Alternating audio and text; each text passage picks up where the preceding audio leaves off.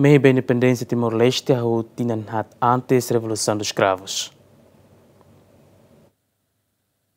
E seminário celebração Tina Limanulo Revolução dos Escravos, o tema reflexão descolonização de Timor-Leste, líder nacional Maria Alcatiri, nebessa orador e a celebração refere a Teten, meio da independência de Timor-Leste, Hahu Tina Hat antes Revolução dos Escravos.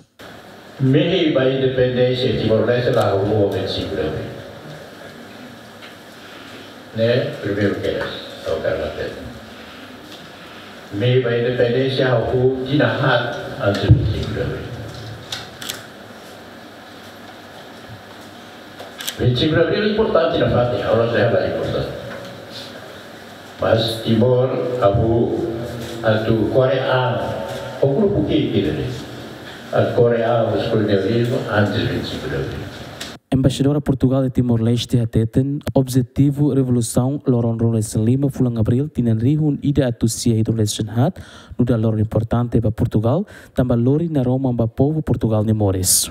O que o 25 de Abril veio trazer também para Portugal foi essa esperança de que finalmente as pessoas podiam estudar, podiam ter um sistema de saúde, podiam ter habitação, para além da paz que também acabávamos de conquistar.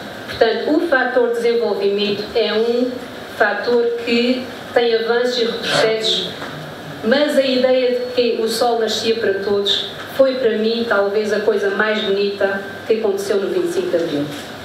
É isso que nós, por exemplo, em Portugal agora estamos a debater com problemas de habitação, problemas de saúde e problemas de educação. 50 anos depois do 25 de Abril, estamos ainda nas, a lutar em Portugal para consolidar os direitos fundamentais do desenvolvimento do país.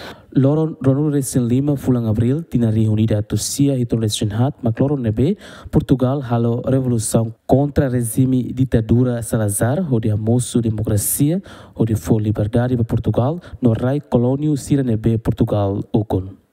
Romaldo Neves, Jaime dos Santos, Gemen.